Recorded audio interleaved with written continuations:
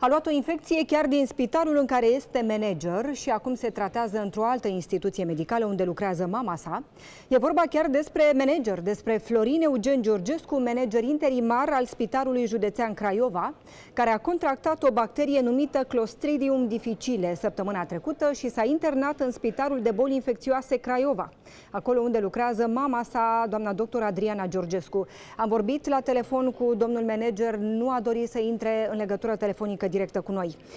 Clostridium difficile este una dintre cele mai răspândite bacterii intraspitalicești, nu doar în România. Am vorbit însă la spital, la Spitalul Județean Craiova, am discutat cu doctorul Sorin Dinescu, medic epidemiolog. Iată reacția acestuia.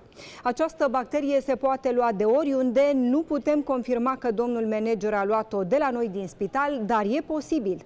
Explicația poate fi și abuzul de antibiotice care destabilizează flora intestinală și permite această infecție, dar infecția poate avea legătură și cu condițiile din spitalul nostru, din Spitalul Județean Craiova și cu condițiile din spitalele din România. Materiale dezinfectante avem și le folosim în spital. Asta spune doctorul Sorin Dinescu, medic epidemiolog la Spitalul Județean Craiova.